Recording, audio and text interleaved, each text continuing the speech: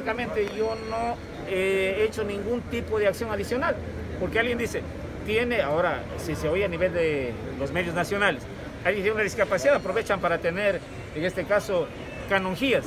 Pero vea, yo no voy a aprovechar del olor eh, humano. Y mucho menos en mi vida yo he dado versiones que no se ciñan a la verdad. Entonces, es parte de la gente que se escuda en una red. Porque si en la red alguien dice, con nombre y apellido, persona que me llamo de este nombre, e incluirse en el anonimato que está.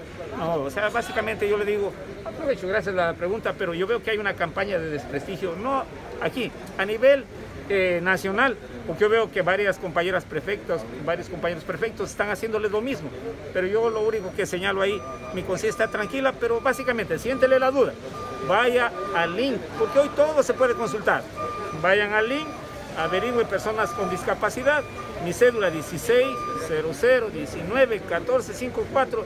No tengo de momento discapacidad alguna, pero sobre todo vaya mis respetos para las personas que tienen ese tipo de discapacidad, sea de manera natural o por azares de la vida. Pero yo no me presto para que tengamos que aprovecharnos de una circunstancia en la que mi accionar de la vida me enseñaron desde la casa y en la academia que yo no puedo aprovecharme del dolor humano. Entonces, espero que haya contestado y respondido esta pregunta y además estamos en el servicio público, vea, yo no tengo nada que ocultar con mis bienes y con mis actividades. Señor Prefecto, hablemos de mejor